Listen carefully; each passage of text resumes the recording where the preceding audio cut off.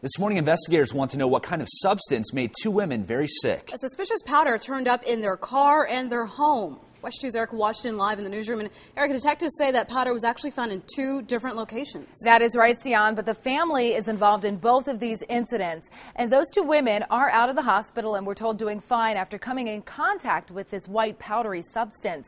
Now, this was the scene this weekend. Hazmat crews and fire and rescue responded to a home on Maple Street after receiving a call about two women getting sick from a powdery substance that was also found in their car. Now, hazmat crews removed the substance from the car, and any of the any of that that could have been tracked inside a home on Hondo Way. That's where the women were visiting. Now, one neighbor who doesn't want to be on camera says that the woman thinks that someone is trying to poison her and her mother.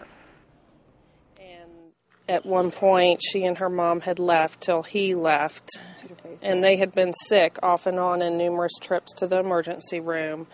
And then when she came back, she said there was a white powdery substance in the house. Now, the FBI is investigating to try to determine who may have done this, as well as to, to, figure out exactly what this suspicious powder is. Of course, they hope to have those results back either today or tomorrow. We, of course, will stay on top of this and continue to bring you the very latest. Reporting from the newsroom, Erica Washington, WESH 2 News.